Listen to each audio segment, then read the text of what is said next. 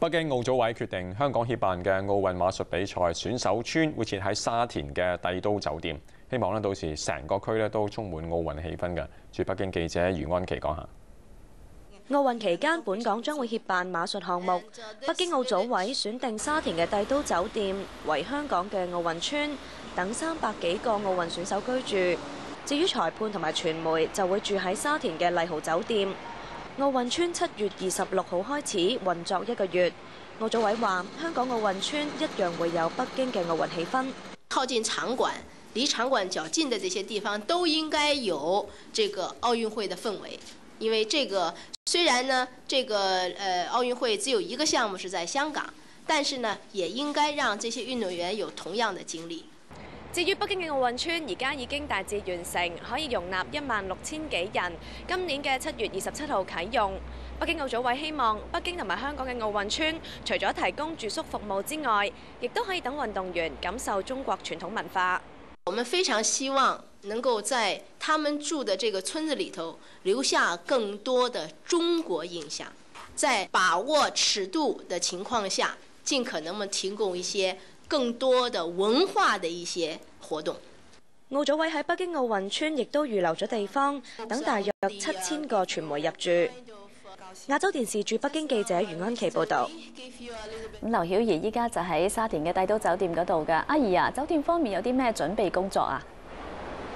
係嘅，李彤。咁其實酒店咧已經開始咗一啲籌備嘅工作㗎。咁譬如話運動員到底食啲咩啦？酒店方面咧已經定好咗一啲營養餐單，並且交咗俾奧組委睇下，需唔需要按翻唔同國家運動員嘅飲食習慣啦去作一啲修改㗎。咁另外酒店方面呢，亦都會加強保安㗎。咁譬如話啦，增加保安員嘅巡邏。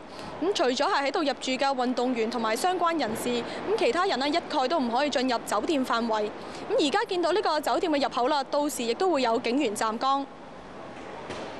鄰近沙田比賽場地嘅沙田帝都酒店，七月開始會搖身一變成為奧運馬術比賽選手村。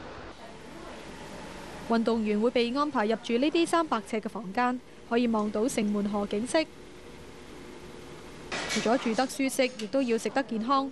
比賽期間，運動員會到呢間咖啡室食營養餐，餐單已經交俾奧組委過目。其實我哋嘅餐單主要都係以熟食為主啦，咁就誒都係以呢個營養啊、衞生為主要嘅。太多生嘢會驚運動員可能水土不服啊咁樣。咁另外我哋食物入邊都加翻一啲誒香港或者係誒中國嘅食物啦，例如誒點心啦。對運動員嚟講，健身室亦都係最適合嘅地方。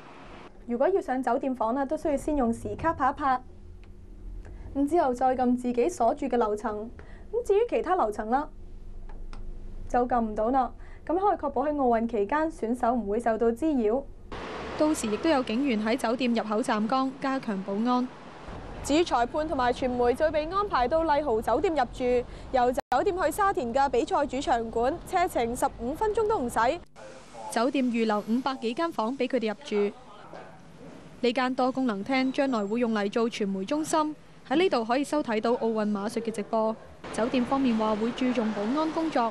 佢哋又會安裝多七十一部閉路電視，同埋增加人手，確保奧運馬術順利舉行。